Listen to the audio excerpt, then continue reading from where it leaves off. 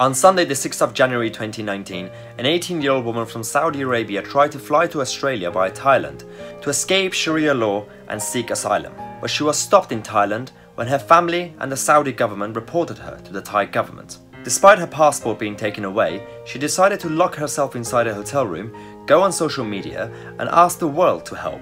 And the world heard her voice. She escaped Saudi because she's renounced Islam, which means her family and her government would kill her if she returns home. They are following what Quran says. The punishment for leaving the religion is death. Imagine being 18, alone in a foreign country, whilst a whole government is after you. And all for what? For being a woman who wants to have freedom. Rahaf was supposed to be deported back on Monday morning, but the UN Refugee Agency managed to stop that from happening. But that doesn't mean she's safe. As things stand now, no country has officially offered her asylum. Also, her father has arrived in Thailand, which puts her life in danger again.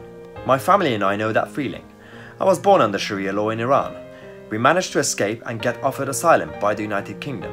So I'm asking our Foreign Secretary Jeremy Hunt and our Prime Minister Theresa May to show whose side they're actually on. The barbaric Islamists or the victims of that culture. If Australia don't come to rescue Rahaf, we as the United Kingdom must help.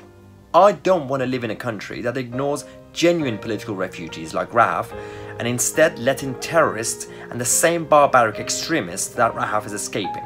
So please share this video to raise awareness and contact your MP and ask them to lobby the Foreign Office on your behalf. Uh, I want uh, asylum.